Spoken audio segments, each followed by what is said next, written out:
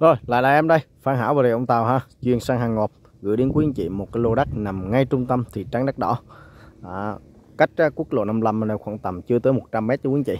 Thì à, đường này là đường đá ha, đường đá mi, đường ô tô 4 m. À, đường ô tô vào tới nơi nha quý anh chị. Đó phía trước xe đang đi quý anh chị thấy không?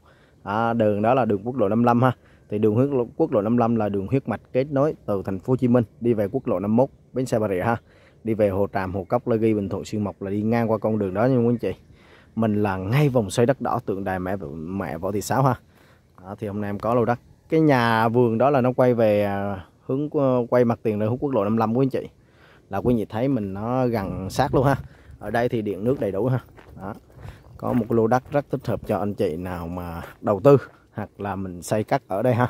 Tại vì à, ở sát với lại trung tâm luôn. Tiện ích xung quanh trường học chợ quý ban chắc khoảng tầm 300 mét đổ về thôi ha. Gần vòng xoay đất đỏ nha quý anh chị thì hôm nay em có một cái lô đất cực kỳ ngọt à, chủ đã đo ranh cắm móc hết rồi đây. À. lô đất này cho quý chị đo ranh cắm móc hết rồi đây nè. Đấy quý thấy không? Đây móc đỏ này ha. Đây cái móc đỏ. Đây, có cái cây vướng cái cây này vướng cây cỏ này quý vị thấy không? Đây chủ đã đo ranh cắm móc hết rồi ha.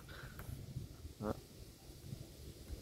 bám mặt tiền đường này từ cái, cái móc này ha qua ngay cái trụ trắng trắng bê tông kia là 13 m bám mặt tiền đường đá mi là 13 m sâu vào trong là 28 m đất phủ hồng toàn bộ ha. Chủ đã lên là 60 m thổ cư rồi xây dựng tự do luôn nha.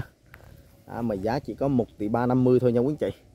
Đất đỏ ba giang cực kỳ từ tốt ha. À, mình làm nhà vườn bên này xong rồi cái đất đỏ này mình có thể trồng rau hoặc là mình trồng các loại cây ăn trái thì em nghĩ là quá là ok luôn.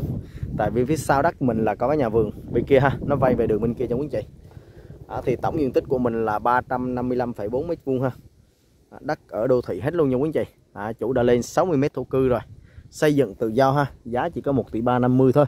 Đường này là đường đá mi 4 mét đường ô tô vào tới nơi điện nước đầy đủ nha quý chị à, để bây giờ em sẽ đi ra đường quốc lộ 55 cho quý chị xem. À, mình là trung tâm của thị trấn đất đỏ ha đây lô đất mình đây nha quý anh chị. Ngang 13 sau 28 60 thổ cư. Ha. Giá quá là mềm luôn. À, đây điện nước điện đầy đủ ha. Khu dân cư kính luôn nha quý anh chị. Ra đây siêu siêu là tới quốc lộ 55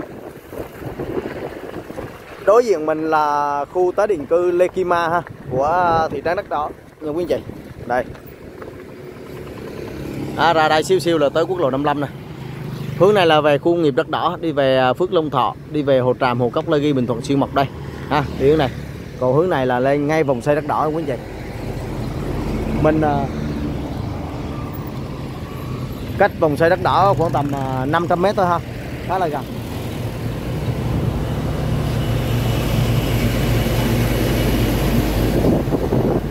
Phía bên này là khu tái định cư nha quý chị tái định cư Lê Kim ha.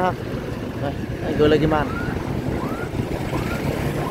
đường này là đường quốc lộ 55 nha quý vị. Mình là trung tâm thị trấn đất đỏ.